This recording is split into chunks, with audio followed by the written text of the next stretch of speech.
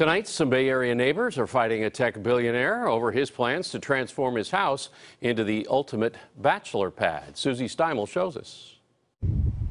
For 11 years, Dave Kofer has enjoyed sweeping views of San Francisco from his backyard on Everson Street in Glen Park.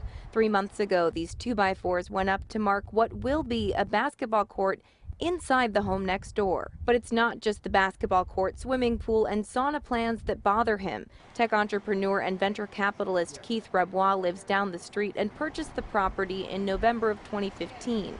Neighbors worry the place will serve as a rec center and party spot.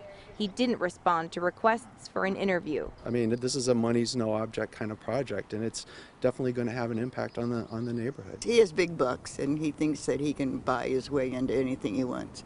Yeah.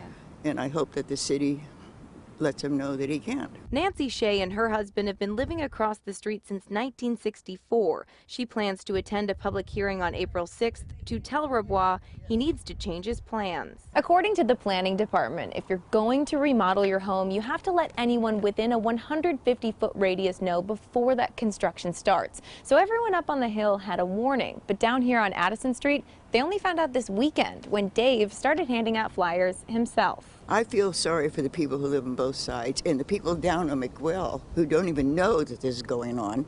They're going to hear that noise. Nancy doesn't know if her concerns as a neighbor can impact private construction, but she hopes the city takes it into consideration. I think it's a battle that planning should be looking into more than us having to fight them all the time. In San Francisco, Susie Steimle, KPIX 5.